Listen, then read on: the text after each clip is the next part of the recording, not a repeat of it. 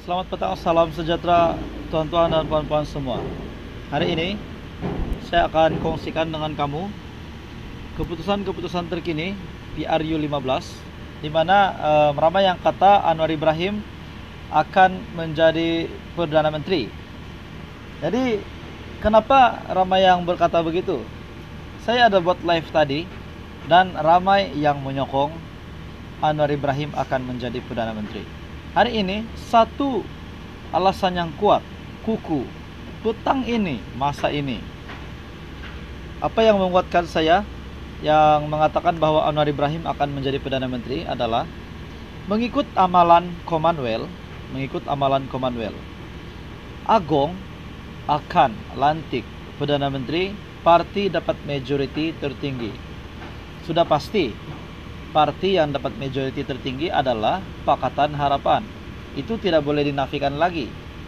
Pakatan Harapan telah mendapat kursi paling banyak di dalam pilihan raya umum ke-15, yaitu sebanyak 82 kursi. Hari ini daripada berita harian online. Ikut amalan Commonwealth, Agong akan lantik Perdana Menteri parti dapat majority tertinggi.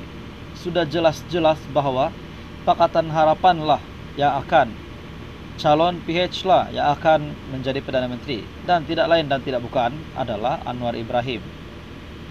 Seorang Perdana Menteri perlu dilantik bagi membentuk sebuah kerajaan minoriti jika tiada penyelesaian kukuh untuk mendapatkan sebuah kejaraan kerajaan majoriti. Penganalisis politik dan hubungan antara bangsa Universiti Utara Malaysia UUM Profesor Dr. Muhammad Azizuddin Muhammad Sani berkata ia berikutan kerajaan sementara bukan sebuah kerajaan sebenar yang berfungsi hanya untuk jangka masa pilihan raya dijalankan sehingga sebuah kerajaan baru dibentuk mahu tak mahu beliau berkata yang di Pertuan Agung mesti perlu melantik seorang Perdana Menteri walaupun mungkin partinya tidak mempunyai cukup majoriti dalam PRU 15. Dengan kenyataan ini, setakat ini kita dapat lihat Anwar Ibrahim bakal menjadi Perdana Menteri. Jika kita ikut amalan negara Commonwealth, Baginda akan lantik Perdana Menteri dalam kalangan parti yang mendapat majoriti tertinggi. Kalau ikut itu tradisinya, ia akan pergi ke Datuk Sri Anwar Ibrahim kerana Pakatan Harapan PH mendapat majoriti yang tertinggi dan mewujudkan kerajaan minoriti, katanya kepada BH. Beliau juga berkata, kerajaan ini kemudiannya akan diberi masa untuk membentuk kerajaan baharu ataupun melantik mana-mana pihak untuk bersamanya. Katanya, Perdana Menteri baharu itu juga mempunyai pilihan lain, mempunyai pilihan untuk memasuki perjanjian keyakinan dan pembekalan ataupun CSA seperti yang berlaku pada awal pentadbiran Datuk Seri Ismail Sabri Yaakob. Azizuddin berkata, tanpa penubuhan sebuah kerajaan baharu, bajet 2023 juga tidak dapat dibentang di parlimen untuk diluluskan. Dan jika hari ini tuanku nampak tidak ada majoriti juga mahu tidak mahu baginda perlu mengikut amalan biasa dalam negara Commonwealth dengan melantik Perdana Menteri yang mendapat majoriti terbesar. Bagaimanapun beliau berkata, yang di Pertuan Agong tidak boleh melantik mana-mana ahli parlimen dengan anggapan individu itu boleh mendapat sokongan yang banyak tanpa bukti kerusi parti yang dimenangi pada PRU 15. Katanya, Penggunaan surat sumpah berkanun SD juga boleh bertindan ataupun duplikat selain ia walaupun diterima pakai tetapi tidak termaktub dalam pelembagaan persekutuan. Azizuddin berkata, bukti paling utama dalam PRU datangnya daripada rakyat melalui peti undi. Rakyat sudah memilih parti dan parti itu yang akan menamakan calon Perdana Menteri. Dengan ini semakin kuatlah sebab kita ataupun um, sebab untuk Anwar Ibrahim akan mengangkat sumpah petang ini. Dalam pada itu, di artikel yang sama, calon Perdana Menteri ke-10, BN sepakat berkecuali, serah kepada Budi Bicara Agong. Selepas BN juga sudah mengesahkan kepada kita semua, kepada pimpinan PH dan pimpinan Perikatan Nasional, bahawa Barisan Nasional tidak akan bekerjasama dengan mana-mana parti, termasuk kedua-dua parti yang menang dengan mendapat kerusi tertinggi, yaitu PH 82 kerusi dan juga Perikatan Nasional 73 kerusi.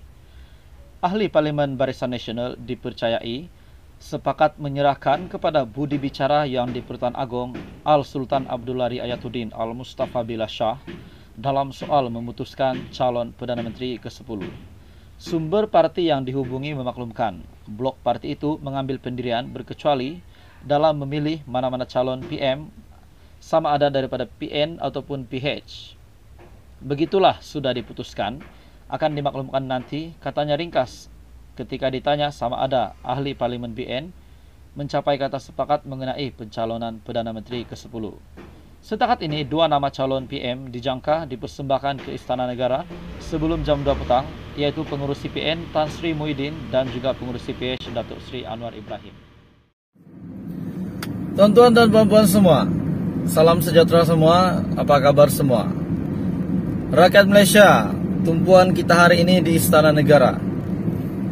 Saya ada baca berita tadi yang mengatakan ramai pengamal media yang sudah berada sudah bersedia di Istana Negara untuk melaporkan kepada kita, melaporkan di media keputusan terkini pilihan raya umum ke-15 Hari ini angkat sumpah Perdana Menteri.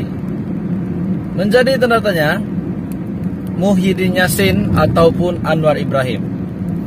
Sudah pasti hari ini kita akan mendapat Keputusan dan jawaban Kemelut politik hari ini akan terjawab. Siapa yang akan menjadi Perdana Menteri? Siapa yang akan membentuk kerajaan hari ini? Dengan keputusan 82 kerusi parlimen untuk Pakatan Harapan dan juga 73 kerusi parlimen untuk Perikatan Nasional dan BN 30 kerusi saja. Jadi yang kita lihat di sini layak untuk membentuk kerajaan dan mempunyai kelebihan adalah Pakatan Harapan dan Perikatan Nasional. Manakala BN pula telah mengesahkan, telah disahkan oleh kenyataan daripada Tokmak Timbalan Presiden AMNO yang mengatakan bersedia untuk menjadi pembangkang untuk menjaga check balance ataupun semak imbang negara kita. Jadi tuan-tuan dan puan kita menantikan siapa yang akan menjadi Perdana Menteri dan membentuk kerajaan pada hari ini. Tuan-tuan dan puan saya ada bercerita dengan kawan tadi kami bercerita tentang siapa yang akan jadi Perdana Menteri, siapa yang akan membentuk kerajaan. Sebab kita dapat lihat Pakatan Harapan kuat, Perikatan Nasional juga apa kurangnya. Saya bercerita dengan dia, apa kata PH dan Perikatan Nasional bergabung. Walaupun terdapat beberapa sentimen-sentimen yang tidak dapat diterima oleh masing-masing parti mereka saling tidak menerima. Namun, akhirnya keadaan begini telah membawa rakyat Malaysia buntu. Siapa nak sokong? Kan kita nak PR 15 supaya negara kita Malaysia yang tercinta ini distabilkan. Jadi, sekiranya PN dan PH bergabung, kedua-duanya mempunyai kerusi yang banyak tetapi malang sekali tidak ada satupun yang mempunyai majority yang cukup untuk menjadi kerajaan tanpa bergabung dengan mana-mana parti.